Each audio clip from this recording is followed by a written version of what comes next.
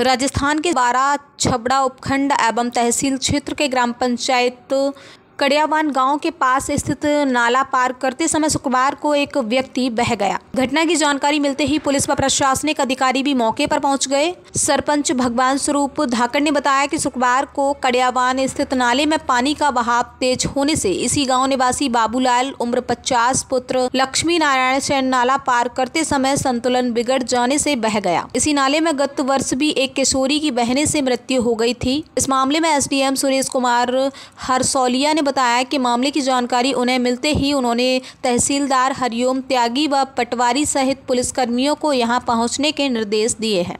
इसके चलते उन्होंने मौका स्थल पर पहुँच नाले में बहे व्यक्ति की ग्रामीणों के सहयोग से सरगर्मी से तलाश प्रारंभ कर दी है और शनिवार सुबह रेस्क्यू टीम द्वारा यहाँ पहुंचकर सर्च ऑपरेशन किया जाएगा।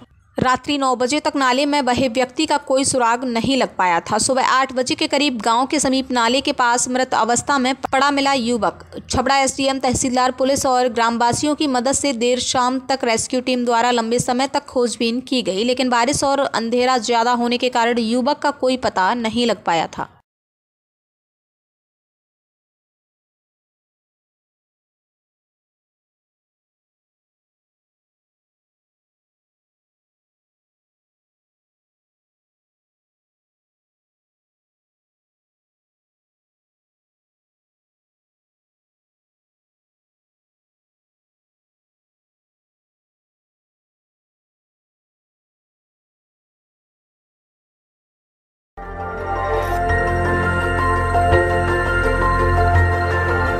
देखते रहिए डीवी भारती समाचार नज़र हर खबर पर।